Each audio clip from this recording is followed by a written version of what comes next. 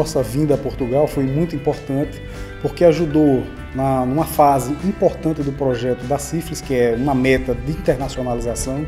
Então, ela vai ajudar o laboratório na prospecção de uma ação global né, voltada para a questão da pesquisa científica no âmbito do controle e do combate à sífilis.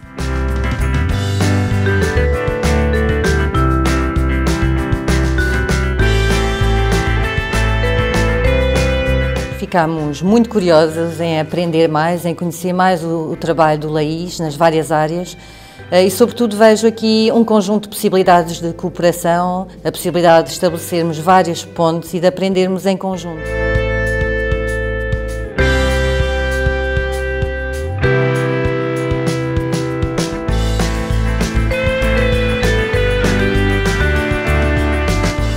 Das, das riquezas que esse processo ou esse novo acordo pode ter é precisamente o know-how que vocês têm, o know-how que nós temos e que, e que eventualmente uma universidade que tem este, estes rigores de mais de 700 anos de existência e que às vezes ainda tem um pouquinho mais de dificuldade de se adaptar à evolução dos tempos.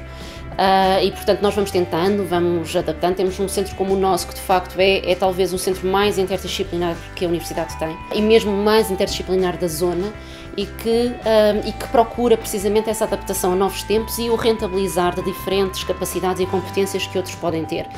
Uma das mais-valias que eu vi em todo este processo, que pode e que está agora a, começar a acontecer, é claramente a questão interdisciplinar. Ou seja, nós somos muito interdisciplinares ou transdisciplinares e vocês já estão nesse mesmo patamar e, portanto, estas trocas são fundamentais, possibilitando uh, a movimentação de pesquisadores, de, de estudantes uh, entre as duas universidades, entre os dois centros de, de pesquisa.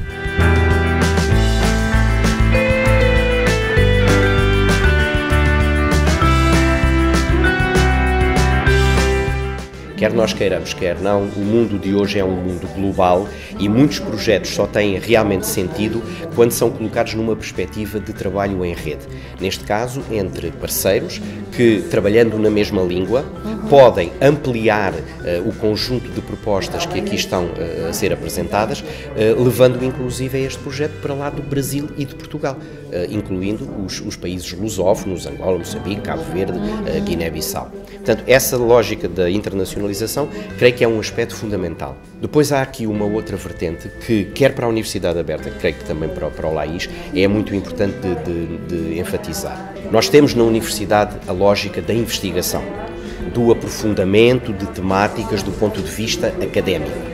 Porém, sem uma aplicação, sem a passagem para uma ação concreta, muitas vezes os projetos acabam por ficar diminuídos. Ora, este projeto é um projeto de investigação-ação.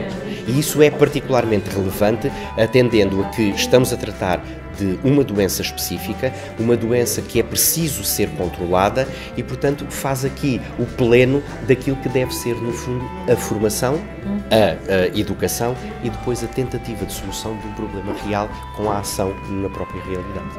E para nós é fundamental termos a possibilidade de integrar um projeto que já está em curso, podermos aprender com o melhor que já se faz e também, porque somos uma universidade em rede, ter a possibilidade de, através de nós, também conseguir transmitir e conseguir, de alguma forma, ajudar os países lusófonos, os países africanos de língua portuguesa, que podem também beneficiar desta parceria através da Universidade Aberta.